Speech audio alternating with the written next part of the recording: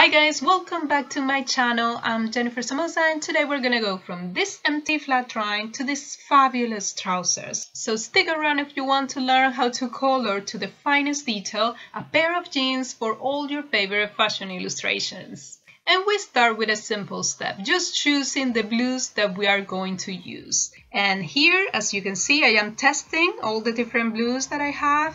So basically, I'm just trying to see how they all look next to each other. And this is a really important exercise before starting any drawing actually. So first of all I start with a very dark one and I'm just gonna pass it I'm gonna pass the marker along the edges. I'm gonna do a few strokes on the front and I'm gonna follow vertical lines all the way just leaving some empty spaces between each stroke just like this same thing to color the waistband, just a few touches here and there without coloring everything. And then I change color. I pick up a medium blue and I use it on those empty spaces that I left before. I try to do the same with another dark color, another dark blue, and I, I kind of try to repeat this process back and forth, medium dark, medium dark, but trying to keep the dark area on the inside of the legs because that's probably where the shadow will be.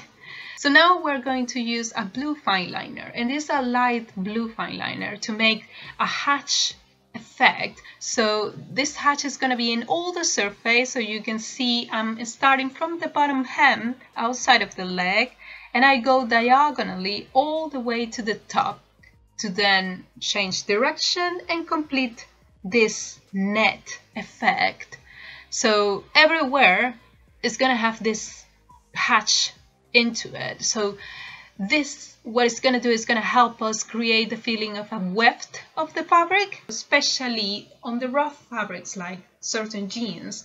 You kind of see these lines all the way, like horizontally and vertically, but this net feeling help us create the perspective as well so it looks like you have actually legs inside those trousers.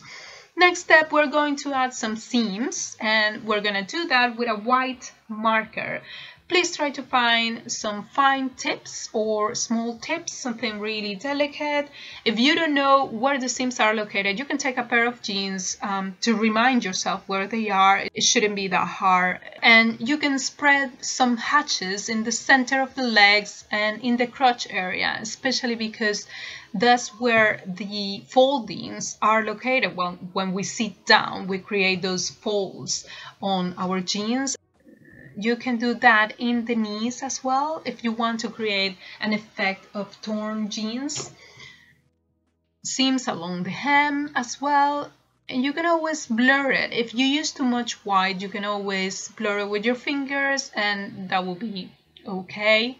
Next step, we're going to add a little bit of texture and I'm going to use the Inktense Derwent pencil colors I had. So I just add a little bit of water to create like a vibrant effect but also you can use it just dry you can use just like a crayon or a normal pencil color like a dark blue color. And this is really important because this is going to give that roughness that typically the jeans fabric has you can use any of your pencil colors especially if they are very oily those are much better than the really hard ones. And then I always like to create the drama effect. And here what I did is um, I just went over the top with the white. I used Tipp-Ex. You can of course use any source of white. You can use acrylic or paint or ink. And what I did is um, I went over the drawing again just to make it pop and I repeat the process going through the seams, going to the foldings, going to all those white hatches that I had done before. So I try to bring it to life again so it pops out. I also use the black fine liner which is something that I always leave for the last moment so when I'm finishing the drawing because it defines all the lines. It gives it a bit of precision and it helps you with the shadows it helps you covering any mistakes that you have done.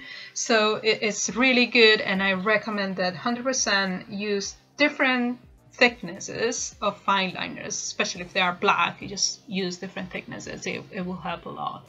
Now, if you're interested in making a fashion figure wearing these trousers, you can take a look at this video at the top right corner where I draw and color a pair of jeans from scratch.